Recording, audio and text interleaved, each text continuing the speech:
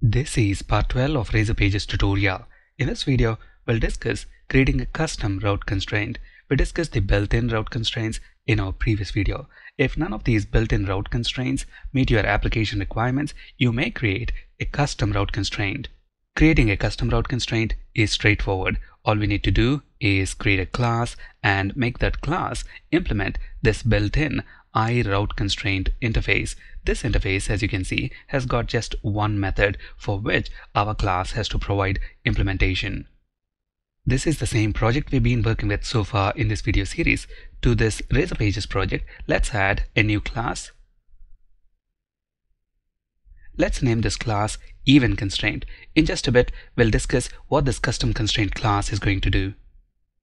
To make this class a route constraint, it has to provide implementation for the built-in iRoute constraint interface. This interface is in microsoft.aspnetcore.routing namespace. Let's bring that in.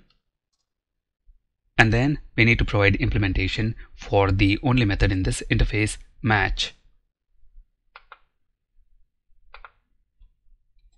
This method has got five parameters. We'll discuss what these parameters contain and their use in just a bit. But before that, let's understand what should this even constraint do. At the moment, we are on the employees list page. When I click the view button, we see the respective employee details and the respective employee ID is passed in the URL as a route parameter. The employee details are displayed by this details razor page. Notice in the URL, we are passing the employee ID as a route parameter. And at the moment we're using two built-in route constraints min and max. Together both these constraints ensure employee ID values are between 1 and 100 now what we want to do is allow only even numbers to be valid employee ID values. Odd numbers must be considered invalid. So we want to use our custom constraint maybe something like this even so with this custom constraint in place, only even numbers like 2, 4, 6, 8, etc. must be allowed.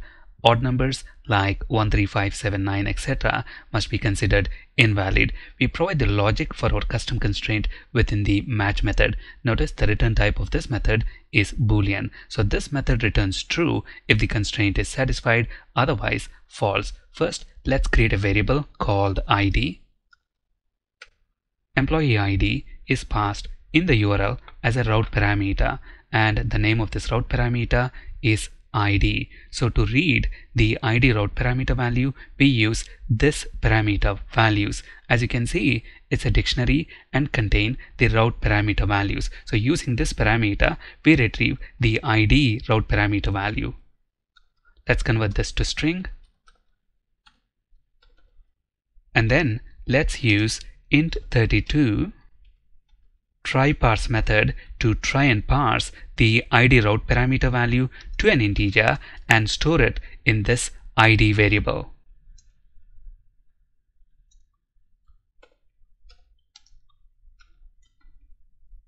If we are able to successfully parse the id route parameter value to an integer, then we want to check if this id value is an even number. So we divide id by 2 and if the remainder is 0 the constraint is satisfied so we return true. On the other hand if we are not able to parse the id route parameter value to an integer or it's not an even number then the constraint fails so we want to return false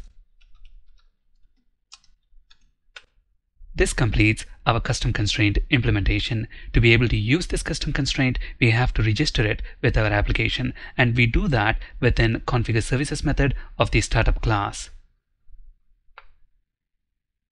Notice on this options parameter, which is of type route options, in addition to all these properties, we also have constraint map property. As you can see from the IntelliSense, this constraint map is a dictionary. So we need to add our custom route constraint to this dictionary. So let's use the add method and we need to specify a key. And if you remember on the details razor page, we're using this constraint using this key even. So we have to use this same key. And then we have to specify the type of our custom constraint. So we use the type of keyword and our constraint type is even constraint. Notice now when I have the mouse over this first employee view button whose employee ID is an odd number, we don't have the view link generated. Whereas for this second employee whose ID value is an even number, notice the ID is included in the URL and the view link is generated as expected. Again for the third employee it's not generated and for this fourth employee it is generated. And when we click the view button we see this employee details. If we change the ID value to another even number like 2 we see that respective employee details. But if I change it to an odd number like 1 for example we get a 404 error. That's because 1 is not a valid employee ID route value. What happens if we pass minus 2 minus 2 is a valid even number. We get null reference exception because we don't have an employee with ID minus 2 so the employee property is null on a null property we are calling photo path so we get null reference exception. So what we want to do is allow only even numbers 2 and higher and we can achieve that by using the built-in min constraint. So along with our custom constraint we can also use the built-in constraint like min for example Notice now when we reload this page, we get a 404 error because minus 2 is not a valid employee ID value. Now let's understand what information these parameters of the match method contain by placing two breakpoints within our custom constraint and then run our project in debug mode. we are on the home page let's navigate to slash employees slash view slash one. Notice our breakpoint within our custom constraint is hit and when I have the mouse over this ID variable notice the ID route parameter value at the moment is 1 and let's inspect the data that is present in these different parameters of the match method. The first parameter here is the HTTP context object and this parameter carries the information about the HTTP request itself. Notice we have access to the request header, request body and there's a lot of information about the request here. The request path is slash employee slash view slash one. We used get request. So this first parameter contains the information about the HTTP request itself and the second parameter specifies the router that this constraint belong to. At the moment it is null router and this third parameter specifies the name of the route parameter. In our case it is the employee ID route parameter and this fourth parameter carries the route parameter values. At the moment we've got two route parameters so page and ID. For page the value is slash employee slash details and for ID the value is 1 and then this final parameter route direction specifies whether this constraint is being evaluated as part of handling an incoming request or link generation. At the moment, our application is handling an incoming request. So the value that we see here is incoming request. And when we continue execution, we see a 404 error. That's because this employee ID 1 is not a valid even number.